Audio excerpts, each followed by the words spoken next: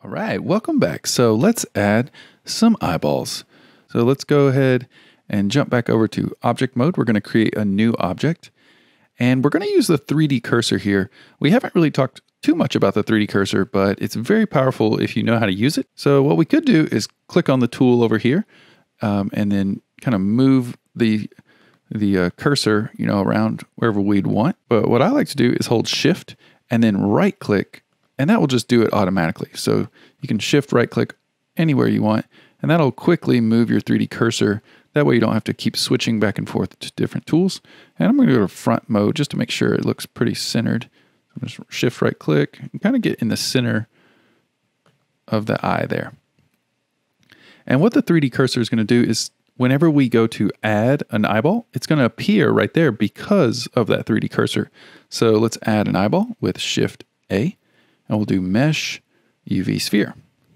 And let's increase it a little bit, just kind of scale it up so it kind of fits inside of our little eye socket there. So maybe somewhere around 2.5 maybe. And let's rotate it on the x-axis, maybe 90 degrees. That way it's uh, the uh, little UVs are kind of kind of look like an eyeballs looking at you there. And that looks pretty good.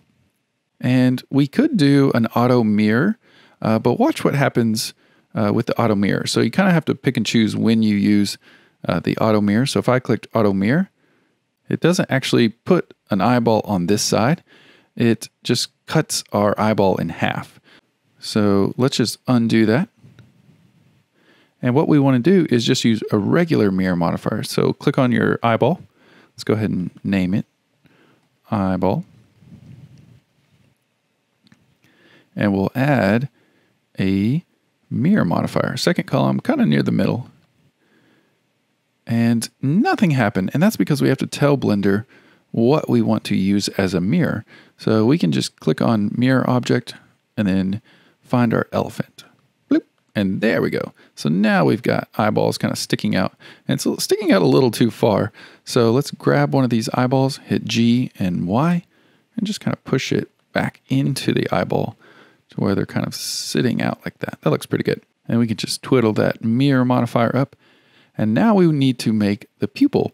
So let's just click on one of the eyeballs here, hit Shift D to duplicate it. So notice we've got a duplicate. Uh, you know, just hit Escape. And now there's actually two eyeballs right on top of each other. So just hit S, and that will scale it on down. So just kind of make a smaller uh, pupil there, just somewhere in there. Just kind of eyeball it, ha, and then hit G and Y. And that will let us kind of move it out and just make a pupil right there in the center.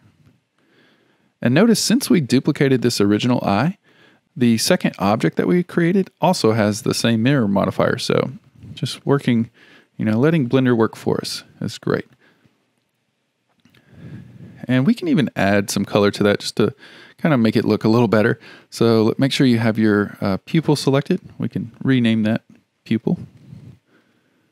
And go to our material and say new and change that to black.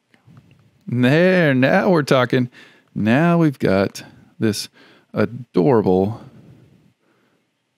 scared elephant. So I'll turn my overlays back on.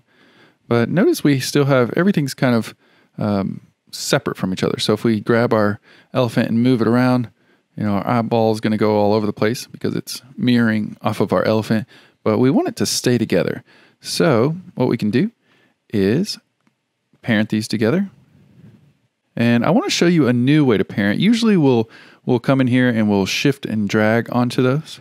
But another way you can do it is, you know, say if you had like hundreds of layers and you didn't want to go dig through a bunch of stuff, you can always just click on the first object and then shift click on the second and then do control P to set parent to. And you can just do object. And then now if we move the eyeball around, those pupils will stay with it. I'm just going to hit escape. And then we're going to take the eyeball and hold shift and click on the elephant and do control P and set object. And notice it did the exact same thing in our layers. Everything's in here. So we have our eyeball, and then inside the eyeball, we have our pupil. So everything's kind of piggybacking onto um, its parent. And the elephant is our master parent.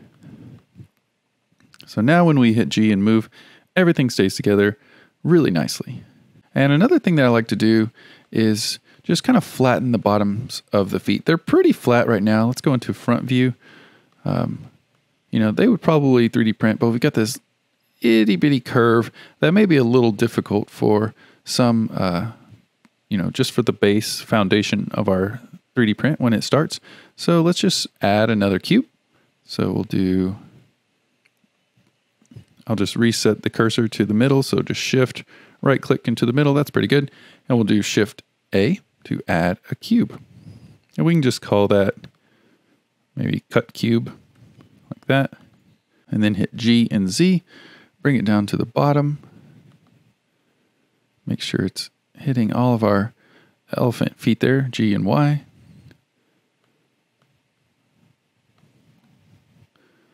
G and Y. Just kind of make that centered there. That looks pretty good. So now, you know, just look around, make sure everything's covered, and we're going to Boolean difference this. So we're going to click on the cube, shift click on the elephant, and do control minus on the numpad. And that is going to chop off a little bit of our feet just to give us some kind of a flat bottom.